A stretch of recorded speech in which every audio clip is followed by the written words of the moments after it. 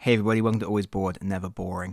Not too long ago, Gale Force 9 released a game called Another Glorious Day in the Corps.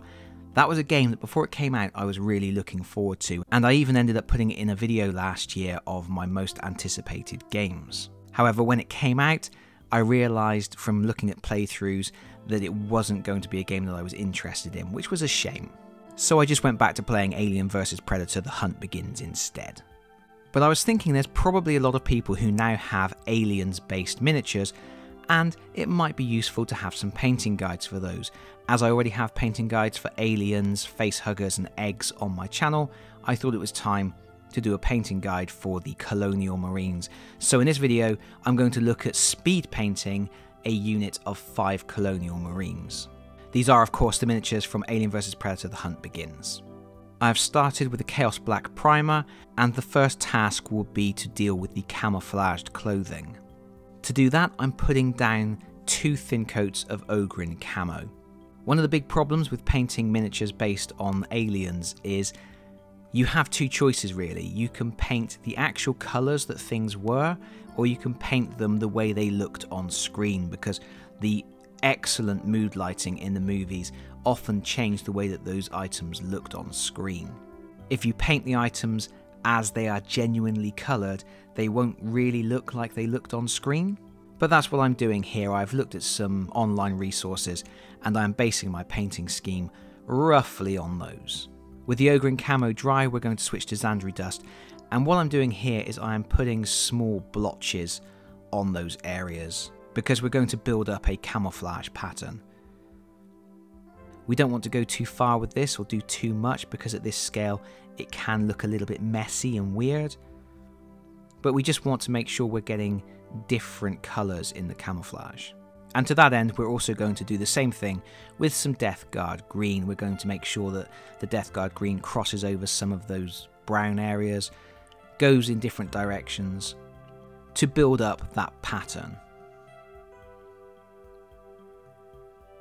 We're then going to switch to Screaming Skull and we're going to do a dry brush over those camouflaged areas. This is just going to bring out the raised details of the miniature.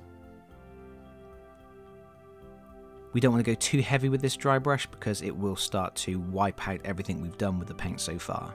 And then we're going to do an Agrax Earthshade wash. We're going to wash all of those areas that we've painted so far this is going to do the recess shading, but it's also going to help to tie together the different layers of the camouflage paint.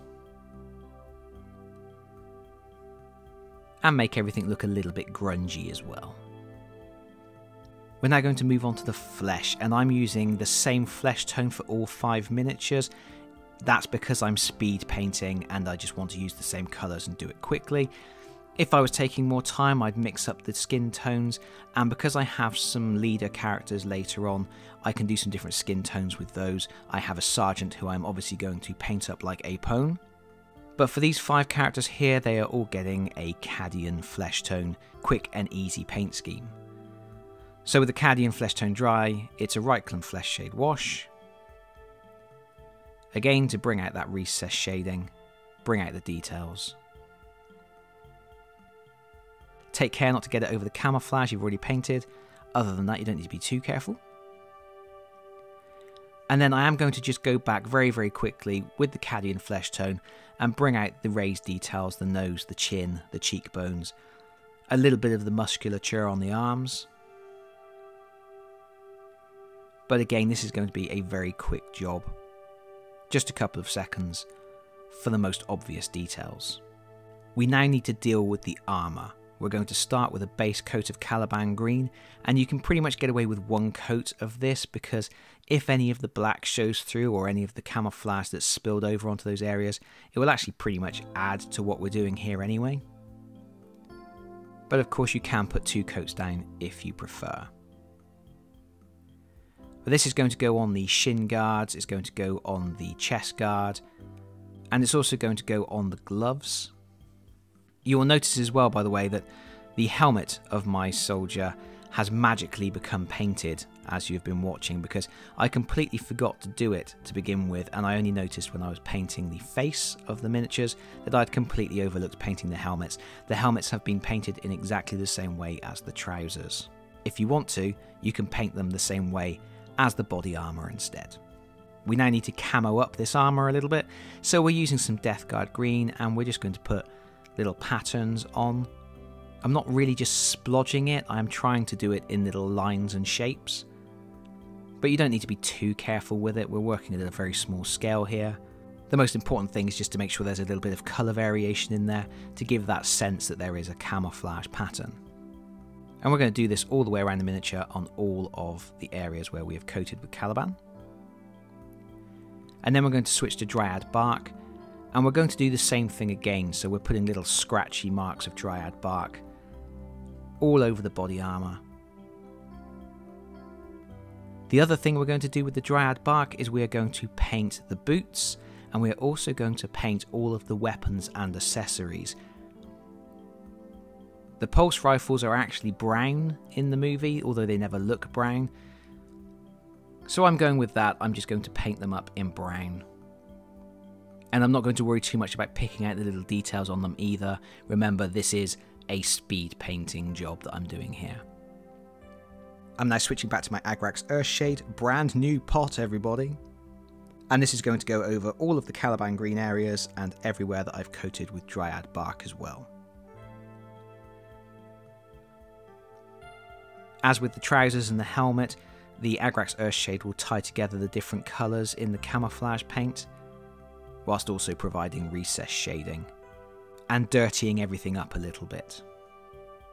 With that done, we really just need to deal with the base now. These bases I'm just going to coat with lead belcher, making sure I don't get it over the boots or anything on the miniatures.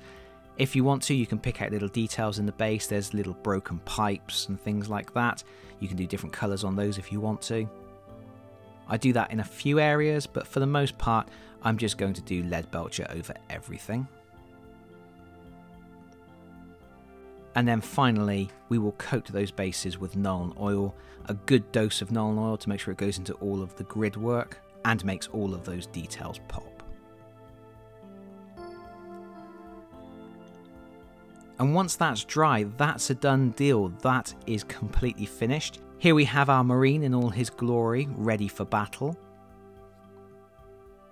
And here is the full squad of five. They were all painted in exactly the same way.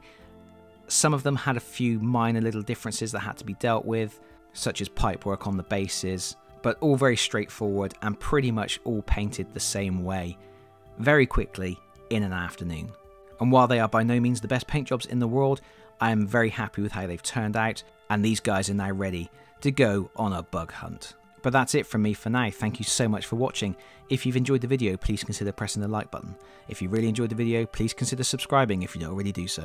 And hopefully, I'll see you all again very soon. Bye bye everyone. Bye bye.